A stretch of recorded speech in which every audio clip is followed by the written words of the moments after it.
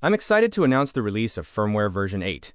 This update brings a variety of new features and improvements, giving you more flexibility and customization options. If you're happy with the current firmware on your device, updating is not required.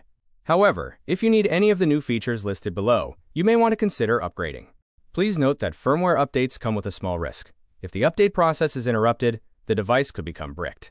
In such cases, you would need to open the frame and follow specific recovery steps to restore functionality. Please don't worry. This step is not that difficult.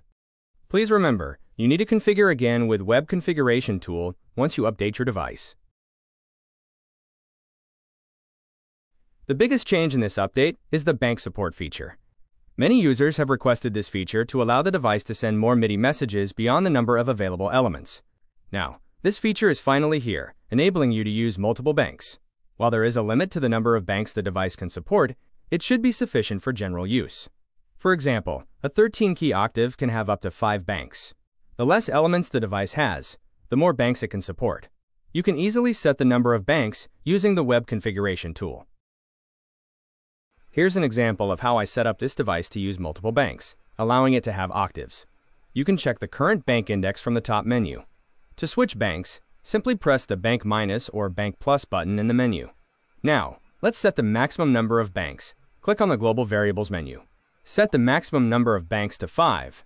Don't forget to click the Set button. Now, the device has 5 banks. You can press the plus and minus buttons, and the Web tool will display the current bank index. Each time you change the bank index, you need to configure the bank settings as needed. In this example, I press the Reset Local Default button to apply the default settings.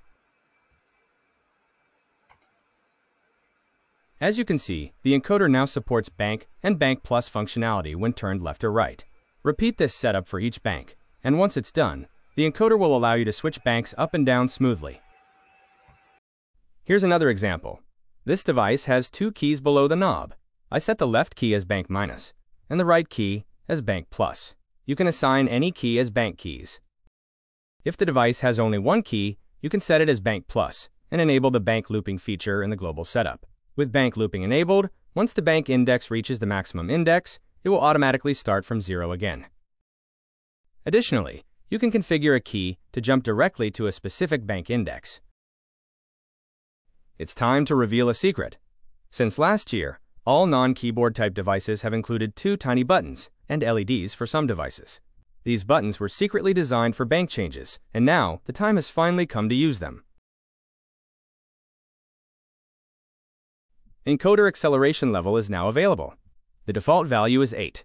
The encoder acceleration feature determines how quickly values are sent when turning the encoder.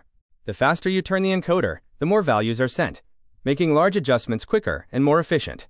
If you prefer precise and consistent adjustments, you can disable acceleration by setting the value to 0. When acceleration is disabled, the encoder will send the same number of values regardless of how fast you turn it. This feature can be adjusted in the Global Variables tab, allowing you to customize it based on your needs. Potentiometer slash fader smooth filter level. The default value is 4. This setting determines how many sensor values are averaged to produce the final reading. A higher filter level results in smoother movements, which can help eliminate sudden jumps or fluctuations. However, increasing the value also reduces responsiveness, making the controls feel slower. If you prefer a more immediate response, consider using a lower filter level. You can adjust this setting in the Global Variables tab to find the right balance between smoothness and responsiveness based on your needs. Minimum and maximum CC values for knobs. This setting applies to potentiometers, faders, and encoders in the normal MIDI mode. You can define minimum and maximum values to limit the range of MIDI messages sent by these controls. This is useful when you want to prevent values from going too low or too high. For example, if you want your potentiometer to only send values between 10 and 100, you can set the minimum to 10 and the maximum to 100. This ensures that the control stays within the desired range. You can adjust these values in the Global Variables tab to customize the behavior of your device.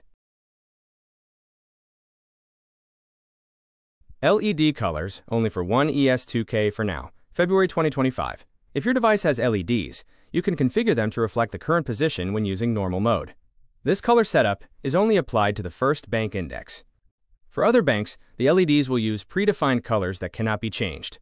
You can also turn off all LED colors completely by checking the Disable LED checkbox. Once disabled, the LEDs will remain off at all times. Currently, LED color configuration is available only for the One ES2K model. Anti-jumping for banks. Default. Unchecked.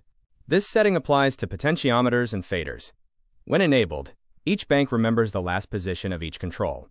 This prevents sudden value jumps when switching banks by ensuring that no MIDI message is sent until the knob or fader is manually adjusted to match its remembered position. Encoders do not need this feature because they can resume from their previous position when switching banks. On the other hand, potentiometers and faders cannot start from their last position, which is why this feature is necessary to maintain smooth transitions. MIDI Custom Mode. This is the biggest new feature in this release. Encoders and potentiometers can now send custom MIDI messages. You can assign different values for left turn and right turn independently. This enables relative control with fully customizable messages, offering greater flexibility in how encoders and potentiometers behave. Each key can now have separate behaviors for press action and release action, Toggle mode is allowing the key to switch states instead of acting momentarily. If you'd like to try the web tool, please visit the page linked in the description. Take a moment to explore how it works. The configuration tool might change over time, but the main concept will stay the same. Thank you for watching.